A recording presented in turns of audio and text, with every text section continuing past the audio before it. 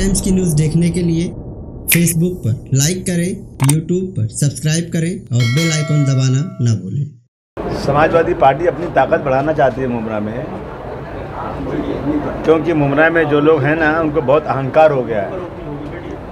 और ये जो हैं,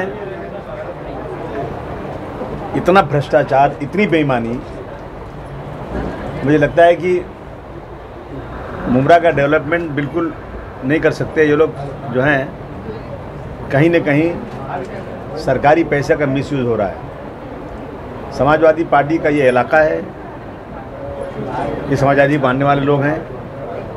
तो हम कोशिश कर रहे हैं कि समाजवादी पार्टी की ताकत यहाँ बने और आने वाले दिनों में समाजवादी पार्टी के ज़्यादा से ज़्यादा नगर से चुन कर आए। सर एक महिला के ऊपर केस बना दिया है टोरंटो वाले ने और जो है कल जान देने जा रही थी उसने स्टेटमेंट भी दिया है। और जो है उसके ऊपर जो है केस बना दिया उसके लड़के पे और पुलिस परेशान कर रही है और भागी हुई सर इसके बारे में क्या बोलेंगे? नहीं मुझे केस किसी ने बताया नहीं लेकिन मैं ज़रूर उसको मदद करूँगा और मैं सर को सर मैं सर नहीं देखिए ऐसा है ना कि सरकारों की ज़िम्मेदारी बिज़नेस करना नहीं है। सरकारों की ज़िम्मेदारी जनता की तकलीफ़ों को दूर करना। अगर सरकारें ला करके ऐसे लोगों को प्राइवेटाइजेशन करेंगी कंपनीज़ का और देंगे ऐसे लोगों को वसूलने के लिए मैं समझता हूँ कि ये बहुत बड़ी नाइंसाफ़ी है। उसके ख़िलाफ़ लोगों को जमा होना चाहिए और टोरेंट जो है, ज़बरदस्त पैसे वसूल रहा है और सरकार को भी पैसे अच्छा मिल, अच्छी मिल रही है। तो सरकार बात सुनने को तैयार नहीं। अभी तो भिवंडी को गया मुमरा गया अब ये महाराष्ट्र के और जगहों पर और यही नहीं, देश के और जगहों पर टोरेंट को भेजना चाहते हैं लोग। टोरेंट खूब मनमानी कर रहा है, खूब मनमानी कर रहा है। लेकिन हम असम्बली से लेके हम लोग सड़क तक एक बार नहीं, पचासों बार इसके खिलाफ इंटेशन कर चुके हैं। लेकिन टोरेंट जो है ना टोरेंट से सारे जितने बड़े पॉलिटिकल लोग हैं, इन सब के जो हैं, उनके रिश्ते हैं। और अगर आप देखेंगे, उनके बैलेंस शीट में तो बड़ी बड़ी पार्टियों को लाखों और करोड़ों का चंदा है। तो ये लोग जो है टोरेंट को आगे बढ़ाते जा रहे हैं। लेकिन जनता को इसके खिलाफ ज़बरदस्त तरीके से खड़े होना चाहिए। जो ये महिला वाला मामला मुझे बताया जाए, मैं भी इसमें कोशिश करूँगा कि उसको मदद की जाए। आसिम भाई राजनीतिक रूप से अ, मेरा सवाल रहेगा आपसे। आप अक्सर मुमरा कौसा दौरा करते हैं आते हैं और आपका ये कहना रहता है कि हम ताकत बढ़ाना चाहते हैं। लेकिन यहाँ पर स्थानिक तौर पर जो है संगठन उस तरह का कहीं से भी प्रयासरत दिखाई नहीं देता। ताकत बढ़ती दिखाई नहीं देती। एक वक्त था मुमरा गौसा में समाजवादी का बोलबाला था पाँच पाँच छः छः नगर सेवक थे। वो दौर जो है स्वर्णिम दौर कहा जाएगा समाजवादी का। वो लौटाने के लिए किसी भी तरह के कोई प्रयास दिखते नहीं है। आप अक्सर आते हैं दावे ज़रूर करते हैं लेकिन जमीनी तौर पर हकीकत कहीं पर भी दिखाई नहीं देती। देखिए हम खबरी का काम नहीं करते। हम किसी के बने हुए आशियानों को तोड़वाना नहीं चाहते। लेकिन जो दूसरे लोग हैं ना वो सिर्फ़ और सिर्फ़ ब्लैकमेल करते हैं। और जो लोग भी आते हैं अपने पास ये मुमरा एक ऐसी जगह है जहाँ पर पुरानी इमारतें हैं। बहुत सारी बिल्डिंगें बनी है बिना परमिशन के। गरीब लोग हैं। किसी न किसी तरह से जब परिवार बढ़ता है तो अपना घर बना लेते हैं। तो यहाँ बहुत बड़ी ब्लैक मेलिंग हो रही है और जो लोग आते हैं उनको डरा दिया जाता है कि तुम्हारा घर तोड़वा दिया जाएगा और वो काम हम नहीं करेंगे। सर ब्लैक मेलिंग का जिम्मेदार किसको मान रहे हैं आप? मैं यहाँ के लीडर को मान रहा हूँ। कौन लीडर? आप समझ जाइए, मैं नाम अपना, अपनी ज़बान क्यों नापा करूँ? आसिम भाई, आप यहाँ मुमरा कौसा की बात कर रहे हैं, भ्रष्टाचार की बात कर रहे हैं, यहाँ के जो है सत्ताधारियों की तरफ़ आप इशारा भी कर रहे हैं, लेकिन इन्हीं सत्ताधारियों ने भिवंडी में आपके विधायक रईस शेख के कार्य क्षेत्र में धूम मचा रखी है, काफ़ी सक्रिय दिखाई दे रही है वो पार्टी वहाँ पर, उसके मुकाबले में आपकी पार्टी मुमरा कौसा में उतनी सक्रिय नहीं है। जवाबी तौर पर जो है, आप राजनीतिक बातें तो कर रहे हैं, लेकिन जवाबी कार्रवाई आपकी दिख नहीं रही है। नहीं, जवाबी कार्रवाई यह है कि मैंने कहा ना कि मैं किसी का घर तोड़वा नहीं सकता, मैं किसी से हफ़्ता नहीं वसूल सकता, मैं समाज के वो लोग जो गरीब हैं, उनको मदद के लिए खड़ा हूँ। तो आज जो है ये जवाबी कार्रवाई हम नहीं कर रहे हैं, इसलिए जो है ये लोग आगे बढ़ते आ रहे हैं। आप पूछिए, हमारे पास जो लोग काम करते थे, वो लोग क्यों पार्टी छोड़ के गए, क्यों भागे गए? क्योंकि उनकी बिल्डिंगें तोड़वा दी जाएँगी। वो आगे रो के मेरा आगे हाथ पैर जोड़ के चले जाते हैं। लेकिन फिर भी मैं मायूस नहीं हूँ।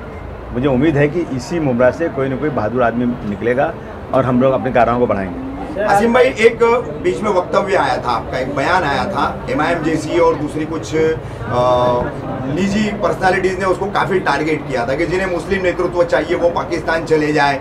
नेता तो हिंदू ही रहेगा। तो इस पर जिस तरीके से आपकी आलोचना की गई है खास करके ऑल इंडिया मजलिस इत्यादि मुस्लिमीन की तरफ़ से क्या कहेंगे इस पर? देखिए मुझे तो अफसोस होता अगर ऐसे सवाल मुझसे किए जाएँ।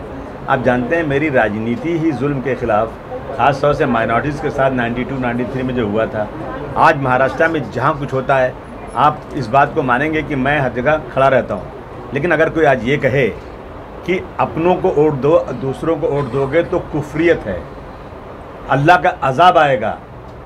आपको जो है ना, अपना लीडर बनाना है। आपको किसी किसी गैर मज़हब के लोगों की जय जयकार करोगे तो अल्लाह की तरफ़ से, नबी की तरफ़ से आपको अजाब दिया जाएगा। इस तरह के जुमले अगर कोई इस्तेमाल करे तो उसके बदले में मैं यही कहूँगा कि भारतवर्ष एक सेकुलर मुल्क है। एक मुल्क था जिसका बंटवारा हो गया, एक पाकिस्तान बन गया जो मुस्लिम मुल्क बन गया। हम प्योर मुस्लिम सियासत पाकिस्तान में कर सकते हैं, जो लोग पाकिस्तान में। भारतवर्ष में हमें यहाँ हिंदू मुस्लिम की एकता चाहिए। और आप बताइए कि 1947 से आप मंजर देख लीजिए क्या मंजर है इसमें। कुछ लोग जो है ना अपनी पार्टी को बढ़ाने के लिए और बीजेपी को ज़्यादा वोट मिल जाए, ऐसे इश्यूज़ उठा करके ना वोट बांटना चाहता मैं उनसे हाथ जोड़ के कहना चाहता हूँ, ये समय पार्टी बनाने का नहीं है।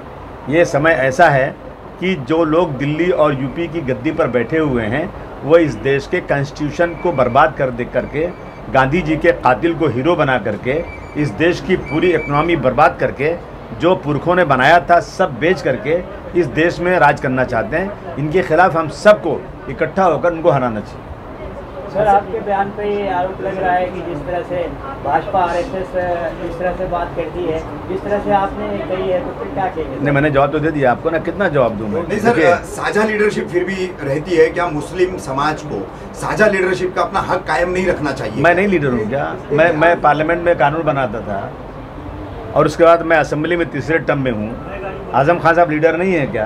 नहीं, है ना बहुत सारे पोलराइजेशन की राजनीति के दौर के बाद से मुस्लिम नेतृत्व का परसेंटेज कम होता जा रहा है। और उस पर पूरी कौम में पूरे समाज में कहीं पर भी फ़िक्र नहीं है। अग्रेसिव राजनीति किसी पार्टी के द्वारा की जा रही है ये बात ठीक है। लेकिन मुस्लिम समाज को एका करके उसके नेतृत्व का परसेंटेज बढ़ाना हर फ़ील्ड में उसका परसेंटेज बढ़ाना इस पर कोई भी पार्टी जो है मुस्लिम समाज के लिए पूरी तरह से काम करती नज़र नहीं आ रही है। समाजवादी पार्टी कहती है जिसकी जिसने ताकत उतनी उसकी हिस्सेदारी। जी। आप आइए यूपी में देखिए।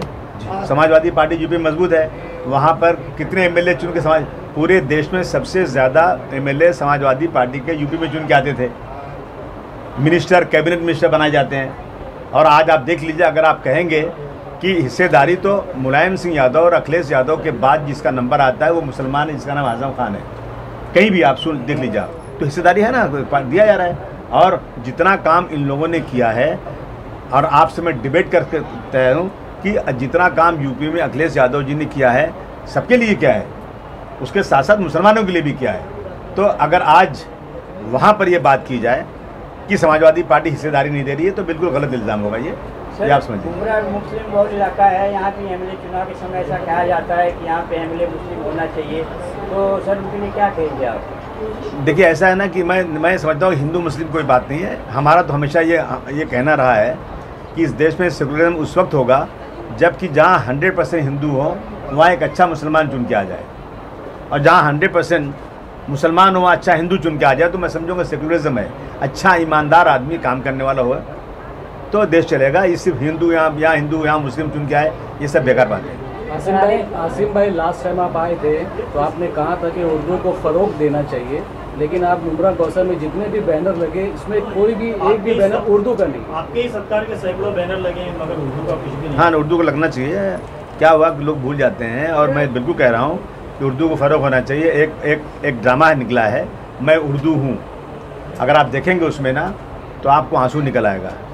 और उस ड्रामे में आखिर में जो ड्रामे करने वाले लोग हैं वो सब गैर मुस्लिम है कोई मुस्लिम नहीं है। बाद में वो कहते हैं मालूम क्या कहते हैं अगर इंसाफ कहीं मिला है उर्दू को तो समाजवादी पार्टी ने दिया है, जो समाजवादी पार्टी के मेंबर भी नहीं है। तो मैं ज़रूर अपने लोगों से कहूँगा कि ये भूल चूक मत कीजिए, थोड़ा उर्दू को भी डालिए उसमें। असीम भाई, आपके ऑफ़िस में खासकर मिली तहरीक की जानिब से स्कॉलरशिप का पिछले कई साल से यहाँ पे शुरू किया गया अलहमदिल्ला बहुत बच्चों को फ़ायदा भी हुआ और काफ़ी मेहनत रही आपकी पूरी टीम की। इस बार क्या हुआ सर, पिछले साल के स्कॉलरशिप में इनकम टैक्स इनकम सर्टिफिकेट का जो जोड़ है तो पैसा नहीं आ रहा बच्चों और इनकम सर्टिफिकेट तीस हज़ार या पचास हज़ार से कम दिखाना है। तो इसके लिए माइनॉरिटी सेल में आपको माइनॉरिटी डिपार्टमेंट में या महकमा बात करनी है मैं बिल्कुल बात करूँगा मुझे अभी तक हमारे पिछले साल का काफ़ी नहीं अगर ऐसी कुछ रुकावट है तो उसको लेटर लिखा था इन लोगों ने ज़रूरत पड़े मुझे बताया नहीं अभी तक इन लोगों ने कि अपने को जाना है तो मैं माइनॉरिटी कमीशन में जाऊँगा मैं चीफ मिनिस्टर के पास जा करके इस चीज़ को हल कराने की पूरी कोशिश करूँगा। मुझे बहुत खुशी है कि हमारे मुमरा की विंग ने जो इतनी मेहनत किया इसकी वजह से मुमरा में नहीं गोंडी में भी मेहनत किया उन लोगों ने। तो माशाल्लाह बहुत लोगों को मिला और इस पर हम लोगों को बहुत मेहनत से काम करना चाहिए। हमारा तो ये मकसद है, कम से कम कम्युनिटी में लोग पढ़े लिखे हों, जो बच्चों, जिन बच्चों का जो रिजर्वेशन नहीं है, आज बच्चों को उससे फ़ायदा नहीं मिल रहा है एजुकेशन में तो कम से कम ये एजुकेशन स्कॉलरशिप वगैरह से बच्चों को बहुत फ़ायदा होता है। मैं ज़रूर आप जो बात कर रहे हैं इस पर बैठ के मुमरा के लोगों से बात करूँगा और कहीं सरकारी रुकावट है तो हम उसको दूर करने की पूरी कोशिश सवाल सर। अभी एक दारुफला कॉलोनी एक मामला था वहाँ पे पत्रकार लोग न्यूज़ कवर करने गए थे। उन पर जो हमला हो गया इसके लिए किसी कोई ना सामने आया कोई नेता ने निंदा की सर? अब मैं पूछता हूँ ने- कि दारुफला में हमला हुआ तो क्यों नहीं लोगों ने किया भाई? करना चाहिए कहीं जुर्म जाती हो तो करिए क्या हुआ तो बताइए। न्यूज़ कवर करने गए थे सर हम लोग तो गए थे वो इधर उनकी दौरे में तो था। नहीं उसको करना चाहिए। आखिरी सवाल। मनपा चुनाव 2022 मुंबई भिवंडी ठाणे क्या तैयारी रहेगी समाजवादी? मुद्दा ये क्या तो- रहेगा समाजवादी? मुद्दा सबसे पहले मुद्दा ये है कि करप्शन ख़त्म होना चाहिए। करप्शन ख़त्म हो जाए तो आधी बीमारी ख़त्म हो जाएगी। स्कूलों में जिस तरह से प्राइवेट स्कूलों में डिजिटल बोर्ड है, डिजिटल पढ़ाई होती है कंप्यूटराइज सिस्टम है, वो कॉरपोरेशन में हमको लाना है, अब की बात। अस्पतालों को बिल्कुल से मॉडर्नाइज बनाना है। और हमारा फंड है, ऐसा नहीं कि पैसा नहीं है। हम 100 परसेंट अगर हमारे, हमारी ताकत आती है और हमारी ताकत से मेयर बनता है तो हम उसका मैनिफेस्टो बना रहे हैं। उस मैनिफेस्टो मैनिफेस्टो के मुताबिक सबसे ज़रूरी है कि हेल्थ सेंटर जिस तरह से दिल्ली में बनाया गया है, महिला क्लिनिक, उस तरह से महिला क्लिनिक बनना चाहिए। एजुकेशन में स्कूलों को मॉडर्नाइज करना चाहिए। आज क्या हो रहा है कि, जो कारपोरेशन के स्कूल हैं, वहाँ पर बच्चे बहुत कम पढ़ने जाते हैं और छोटे छोटे स्कूल में जहाँ आठ हज़ार, छः हज़ार तनख्वाहें मिलती हैं, उन बच्चों का रिज़ल्ट ज़्यादा अच्छा आता है। आप आइए, मानखुद शिवाजी नगर में आप आइए, वहाँ सारे स्कूल बिल्कुल अच्छे बन गए और एक एक स्कूल में जगह ही नहीं मिल रही बच्चों को पढ़ने के लिए। इतनी बड़ी बिल्डिंग बनने के बाद इन कॉरपोरेशन स्कूल में भीड़ बढ़ती जा रही है एजुकेशन का मैार बढ़ रहा है। एक स्कूल है अभी बनाना है उसको लेकिन अभी सरकार की तरफ़ फंड नहीं आ रहा उसमें भी तिरपन करोड़ रुपया लगना है। वो बनाएँगे इसी तरह से मुमरा के लिए भी।